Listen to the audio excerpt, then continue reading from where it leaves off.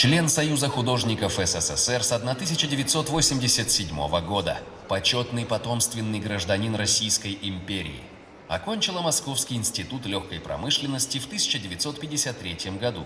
Совершенствовала свое мастерство в СХКБ, специальном художественном конструкторском бюро под руководством легендарной Аллы Левашовой.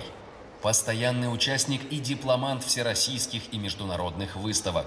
Ее работы хранятся в Московском музее декоративно-прикладного искусства, Хлебном доме в Царицыно, частных коллекциях России, США, Франции, Марокко, Дании, Бельгии. Татьяна Смирнова – родоначальник текстильной бижутерии.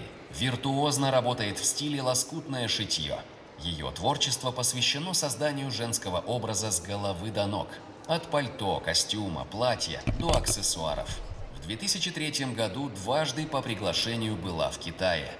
В Даляне на показе высокой моды The Best Fashion Show получила награду и высокую оценку своего творчества и вновь приглашена в марте 2024 года. Среди многочисленных наград Татьяны Смирновой звание «Шляпник 2008 года», дизайнер 2012 года, а также национальный приз в области авторской моды на Международном фестивале моды «Одевай эпоху» в Москве. В 2019 году талантливая художница-модельер награждена высшим орденом индустрии моды за преданность профессии, за творческий вклад в развитие российского дизайна. 16 октября 2023 года награждена золотой медалью Академии искусств Российской Федерации.